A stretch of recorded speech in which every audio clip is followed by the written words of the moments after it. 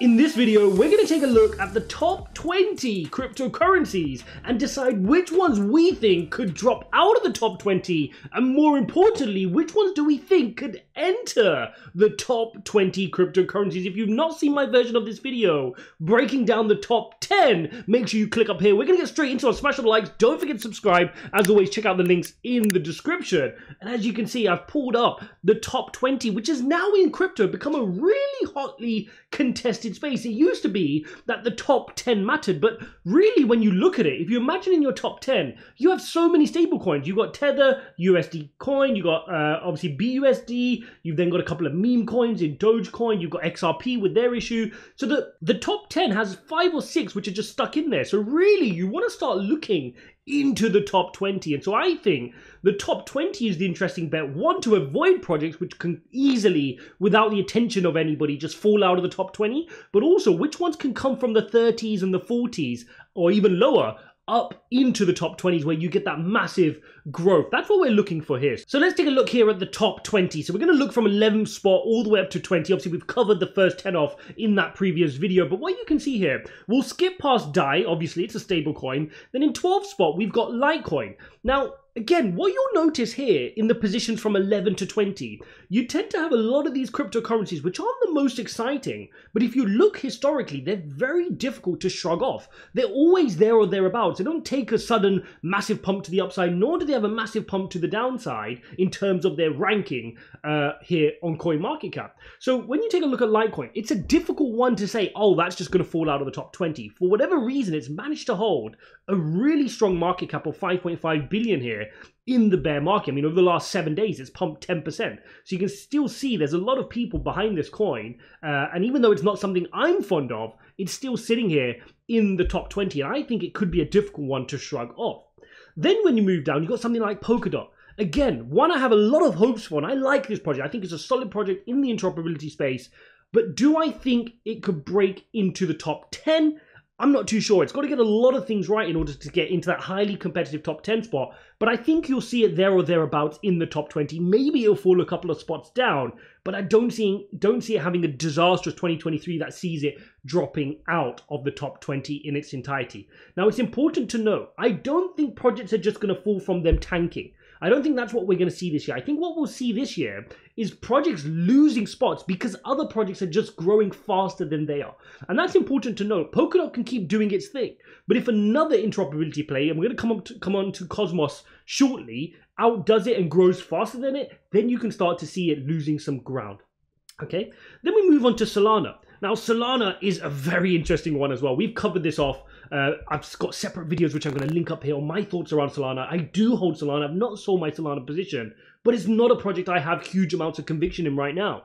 I'm only holding it because I had a crazy cost basis, and I know a lot of people in that same position as well. So you've got to be very, very careful with something like Solana. Yes, I know they have an active ecosystem, they've got a good developer set, they like building, um, and there's a possibility that they can revive themselves. But you've got to remember there's going to be a lot of sell pressure on Solana throughout this year, with a lot of people waiting for these small pumps just to offload some of their bags. There are billionaires sat on Solana with huge amounts that they bought in very early stages, and that's always going to create a lot of pressure on Solana. So this is one that could have a hugely volatile 2023 and we could see it falling out of the top 20. Yes, that's one of them which I think could potentially, I'm prepared to see that fall out of the top 20. Next up, we then move on to Tron. Again, another one which is not exciting, right? I've given you my opinions on Justin Sun. I don't trust the guy. I think he's a bit dodgy. I think his projects, uh, if you read into his history, I've linked up a couple of articles before that you can Google and read up uh, about on on uh, Justin Sun. But for whatever reason, his platform continues to be a big platform 4.7 billion in market cap, and he's proven that he's always there or thereabouts. So another one I wouldn't really be buying into, but at the same time, I'm not betting against. People do still use the Tron network to send their transactions and it's one that's going to be there and thereabouts. So again, not one I can see suddenly getting knocked off the perch in the top 20 here. And already you can see, guys, how this top 20 is very sticky. Once you do earn your stripes, it's something where, you know, you have a loyal fan base, you have a loyal group, people are actually using your product. And so it's very difficult to just dislodge you without other projects really growing and just knocking you down by being better than you. Um, Moving on, we'll take a look at Shiba Inu. Obviously, a huge. I mean, this is where the opinion differs, right? I remember making a video saying Shiba is better than Doge in terms of fundamentals. And I stand by that. This was when Shiba first came out because Shiba are trying to build something. At the moment, Doge you know hasn't got that they've not got this active roadmap where this is what we're doing this is how we're going to do it we're going to build this we're going to build this we're going to have a metaverse we're going to have this we're going to have nfts we're going to have uh, an exchange how, where is all that it's just relying on elon musk integrating Doge at one point, and that's enough to keep you know Dogecoin in the top ten. So Shiba Inu is another one which could be you know this could go either way. It could do really well and launch uh, launch some interesting updates and have a positive move to the upside because you never know with meme culture, but my overriding theme on this is I don't think meme coins are going to have sustained crazy pumps this year. I still think it's going to be a difficult year. I don't think people have disposable income like they did in 2020 and 2021 when they were throwing money into meme coins left, right, and center. And for that reason, I think meme coins will have smaller pumps. But I don't think they're going to have that sustained crazy pumps. Nothing like we saw with GameStop and AMC, and, and nothing like we saw in Dogecoin and Shiba at the first outset when they were first uh, had their hype, okay, last year or two years ago now. Okay, so that's my thoughts on Shiba. Then looking down, we've got Uniswap. I think it'll be a positive year for Uniswap. I've given my thoughts around why I think decentralized players are going to do well. Remember, we had a lot of failings of centralized players in 2021. I think that's going to stick firm in the head of investors that we need to have some diversification in the decentralized alternatives. We can't just be uh, betting on all centralized plays. That goes against the ethos of crypto. The whole point is decentralization. So being the biggest and first uh, decentralized exchange out there, they've got the early adopter advantage there. 4.1 billion in market cap, uh, the biggest by volume, and definitely that's one which I think will hold its perch in the top 20. I don't see it getting dislodged from the top 20. Next up, you got something like Avalanche. Again, another solid layer one solution in terms of its tech. Have they got their marketing right? Um, it's better than some of the other layer one platforms, which I'm going to speak about shortly, but it's still not it's got a lot more to be designed for right? It's not the most exciting layer one solution. I don't think they've got their messaging right. I don't think they've built the community around it as excitingly as you could have hoped right? It's definitely you couldn't you couldn't compare it to the community of let's say polygon matic. I think they've done a far better job of galvanizing their community and doing really good biz dev but it's there and thereabouts. And I think it's at a fair position now at 18th. But this is one I could see if they do not execute well in 2023, if they have another boring 2023 without some good biz dev, without some good updates, without some good communication from the team, and just some real good marketing and social community building. I could see them getting knocked off the perch in the top 20 as well. Next up, Leo in 19th spot. Remember, this is the utility token for Bitfinex. Again, difficult to bet against utility tokens, right? Because the whole purpose that they've got good market cap is people want to use it. People are using Bitfinex. They hold Leo to then do whatever they want to do in that ecosystem and therefore they hold value, right? Similar to BNB. So it's difficult to bet against them, but again, they're sitting so uh, tentatively there just within the top 20 it's very possible they get dislodged as well from the top 20. So now we'll move on to what are those projects which I think are the ones that could be dislodging these guys? Which are the ones that I think can move up into the top 20? And I'm going to start off with the most obvious ones. And those are the three that are literally knocking on the door of the top 20 right now. Obviously, in 20th spot, you've got Wrapped Bitcoin, which we'll ignore. But then you've got Chainlink. Again, Chainlink, data oracle play, the biggest, the first. Every smart contract, every smart contract developer you speak to will need the oracles from Chainlink to make their smart contracts operate. People don't seem to want to understand this. They they want to focus on other exciting things, on meme coins or anything else, but they don't seem to understand that there's only one major data oracle play out there. Yes, there are others like Band Protocol, but the Chainlink is by far by far the superior one, just like Polygon Matic is in the layer 2 space. So I call these blue chips Chainlink, Polkadot, and Polygon Matic. I've always called those my blue chips. I dollar cost average into them. So I can see this being an interesting year for Chainlink jumping up perhaps into the top 20. I think it's a good defensive crypto. It's not something that people rotate to when times are exciting in a bull run. I think they much want to run into metaverse and NFTs and, and different exciting meme coins. But within difficult times where people are actually looking at their portfolio and say, what do I actually have conviction in?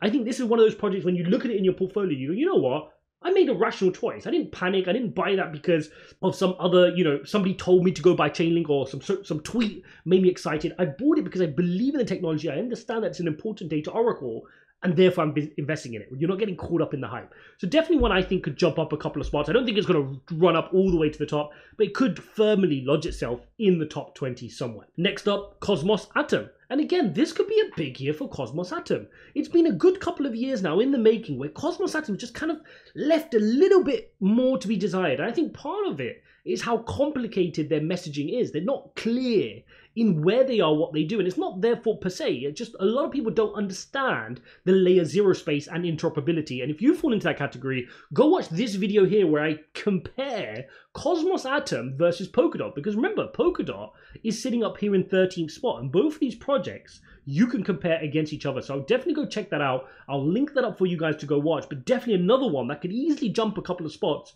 and get into the top 20 this year. Following that, we'll move on to Monero. Privacy coins, in my opinion, are going to be a huge narrative this year. Again, we've seen the rise of cancel culture, we've seen the rise of wokeness, and this causes a lot of problems in the way we process payments. You've seen how literally if you say something which somebody does not agree with, your payment methods can be cancelled. And for that reason, I can see a lot of privacy coin narratives really being pushed. And Monero, again, is the leader in their space. Yes, there are others like Zcash, uh, Zcash and Dash but for me, Monero sitting there on the perch could easily push its way into the top 20. Now, interestingly, it's not an exciting space, right? Nobody wakes up in the morning and says, I can't wait to load up a bag of Monero. But I think a lot of the smart money will start to realize that Monero is something they should be using, and the smart investors will be realizing this is something I should be invested in because it's an exciting narrative which ultimately